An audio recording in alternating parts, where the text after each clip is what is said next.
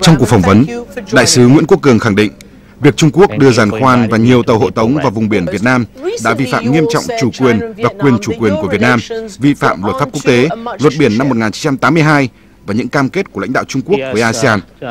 Để đáp lại, Việt Nam không còn cách nào khác là phải phản ứng lại một cách hòa bình nhưng cương quyết.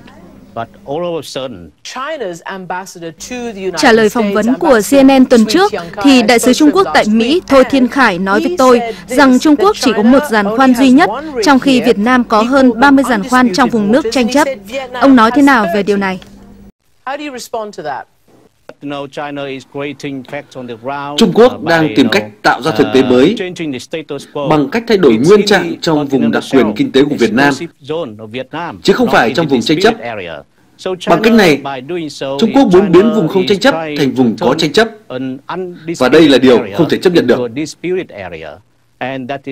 Về các hoạt động thăm dò và khai thác dầu khí của Việt Nam, chúng tôi đã tiến hành hàng thập kỷ nay nhưng trong vùng đặc quyền kinh tế, thêm lục địa của Việt Nam, chứ không phải trong vùng tranh chấp. Do đó, có nhiều công ty nước ngoài đã hợp tác với Việt Nam tham gia vào các dự án này. Liệu bà có thể tin là các công ty nước ngoài đó sẽ tham gia nếu các dự án này nằm trong khu vực tranh chấp? Tôi không nghĩ là như vậy. Còn năm 2012, phía Trung Quốc cũng đã tiến hành mời thầu quốc tế các lô dầu khí trong vùng thềm lục địa của Việt Nam. Nhưng không có công ty nước ngoài nào tham gia các cuộc đấu thầu đó cả. Về chính sách đối ngoại của Việt Nam, Đại sứ Nguyễn Quốc Cường nhấn mạnh, Việt Nam theo đuổi chính sách đối ngoại độc lập. Việt Nam muốn có quan hệ tốt với Trung Quốc, với Mỹ và các quốc gia khác, nhưng Việt Nam không chấp nhận việc cưỡng ép hoặc đe dọa. Người dân Việt Nam quyết tâm bảo vệ chủ quyền và toàn vẹn lãnh thổ.